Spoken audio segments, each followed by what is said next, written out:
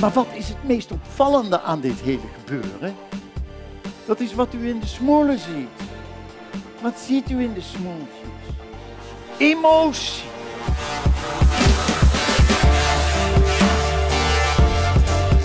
Komen er homoseksuelen en travestieten voor in de dierenwereld? De Universiteit van Nederland presenteert primatoloog professor Dr. Jan van Hoof.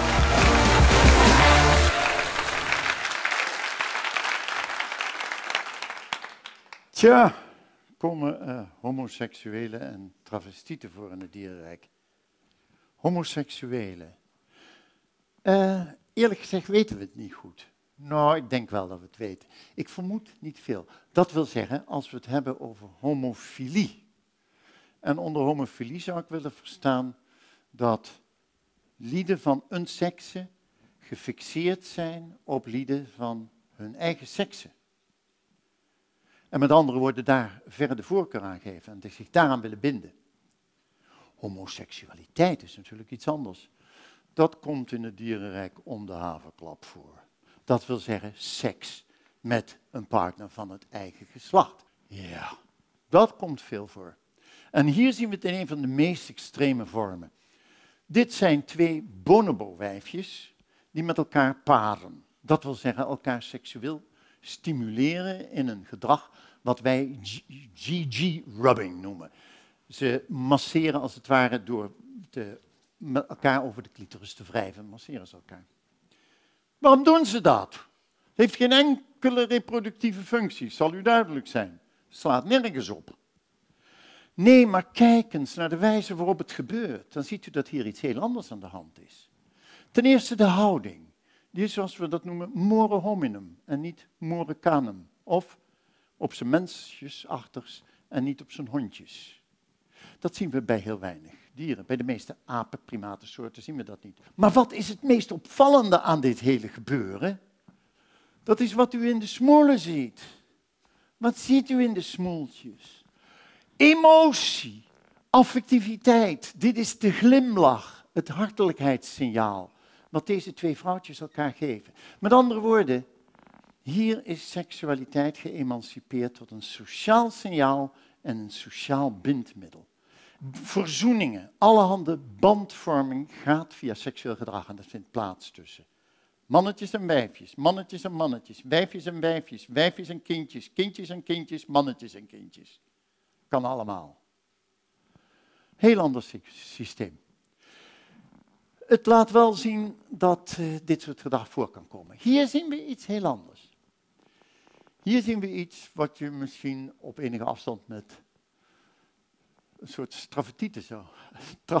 Nou, he, struikel over het woord. Want wat zien we hier? Zien we kemphanen. En bij kemphanen komen de mannetjes in twee morfen, zoals dat heet, voor. Kemphanen balsen, in het voorjaar komen ze naar leks toe. Dat zijn balsarena's. Maar de mannetjes in de balsarena territoria veroveren. En de wijfjes worden daartoe aangetrokken en worden daar door het mannetje bevrucht. Mannetje doet verder niets aan de jongenzorg, aan broedzorg. De wijfjes trekken daarna weg, leggen hun eieren en broeden die uit. Het blijkt dat de mannetjes die daar zitten en het territorium houden, die hebben af en toe andere mannetjes in hun gebied rondlopen, dat noemen we satellietmannen. Die satellietmannen zien er anders uit, zijn ook genetisch anders. Dus dat is genetisch polymorfisme, genetische veelvormigheid.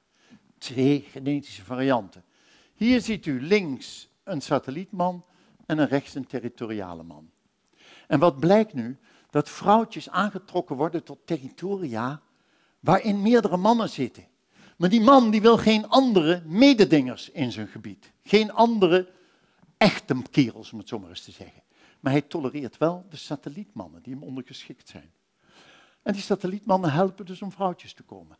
Daar wordt de satellietman voor beloond, doordat hij af en toe ook mag paren. En af en toe een hennetje krijgt. En zo wordt de aanleg tot satellietman als een genetische variant in de populatie behouden. Er is nog een derde soort mannetje. Het derde soort mannetje is een pseudo-vrouwtje. En dat zijn mannetjes zonder die prachtige kragen. Want, laat ik u zeggen, de vrouwtjes van deze soort zien er gewoon glad uit en hebben niks bijzonders. En dat mannetje, dat uh, wordt door de andere mannetjes niet als een bedreiging gezien. Die rommelt wat rond in de territoria. En als er een wijfje binnenkomt en er is een onbewaakt moment, dan kan hij even vlot zijn gang gaan. En zo blijft ook die variant in de populatie behouden. Ze worden door de echte kerels niet als een bedreiging gezien, want daar lijken ze niet helemaal op. En ze sneaken ertussen en als een vrouwtje, kikkertje, wat, uh, wat eitjes afzet, dan kunnen zij er soms nog lekker wat sperma tussendoor rommelen. En uh, zo houden ze de zaak gaande. Laat de kerel, de echte kerel, het niet merken. Dan zou u denken, dat komt natuurlijk alleen maar voor bij lagere dieren, bij vogels. Nou, hier zien we een volwassen man orang-oetan. En die volwassen man die wordt gekenmerkt door geweldige wangplaten, is ongelooflijk groot, heeft een geweldige pels, heeft een keelzak waarmee hij een ongelooflijke luide longkool kon geven die in het oerwoud davert als een soort imposante longenhoek. Want u moet zich realiseren, orang-oetans leven in een grote boerenkoolsoep, tropisch regenwoud, boven in de bomen. Die vent die houdt een territorium in stand waar die andere mannen uit weert. Die kerel die maakt zich een paar keer per dag maakt zich bekend door die geweldige longkool uit te roepen. Als een andere volwassen man het hart in zijn lijf heeft om in datzelfde territorium te doen, dan gaat hij dan lineair recht daarop af, de territorium-eigenaar, en dan krijg je een ongelooflijk hecht gevecht. Andere mannen moeten zich dus gedijst houden. Hier ziet u een ander soort man. Dit is een volwassen man uit onze studiegroep in Ketambe in Sumatra, waar we dit onderzoek hebben gedaan, we allemaal zelf gedaan. Dat is Aldo, die is inmiddels 30 jaar oud. Ziet hij eruit als een volwassen man? Zoals wij dat noemen, een wangplaatman met de keelzak, met de pels en ik wat? Nee. Hij ziet eruit als een groot uitgevallen vrouw. Hij is even zwaar als die andere, maar hij vertoont niets van de kenmerken. Hij uit ook de longkool niet. Hij zit in dat gebied en houdt zich gedijst. dat is een mooi verhaal, dat is voor het eerst beschreven door een uh, Duitse onderzoekster, de curator van de dierentuin van Frankfurt. Daar hadden ze een paardje orang-oetans. En die orang-oetans werden volwassen en de man, de man die wilde niet worden wat de directeur van de dierentuin hoopte dat hij zou worden. Iets wat de bezoekers zou aanspreken als een echte volwassen macho orang-oetan man. Hij bleef, hij was wel groot, maar bleef eruit zien als een vrouw. Totdat Heinrich, de oude Heinrich, met pensioen ging. De apen oppassen, die kreeg zijn gouden horloge, 65, en die vertrok, er kwam een nieuwe oppassen. En binnen twee maanden zat in diezelfde kooi een volledig uitgegroeide volwassen man. Wij noemen dat bimaturisme. Twee, twee stromen rijping. We hebben nu, weten we langzamerhand, dat die opgroeiende mannen, on, door, geïntimideerd door de aanwezigheid van een dominante macho, wordt de ontwikkeling van de secundaire gedrags, geslachtskenmerken en wat daarbij hoort, dat wordt geremd. En ze zitten dus als het ware te wachten, te wachten tot er een vacature valt in Toerwoud, een territorium. En dan ineens, wam, dan zijn we er. Toch, onze Aldo is succesvol, want wij hebben DNA-dingen gedaan over de nakomelingschap. En Aldo heeft kinderen in die groep, in die populatie. Er zijn dus wijfjes bij wie hij gescoord heeft. Hij doet het alleen anders.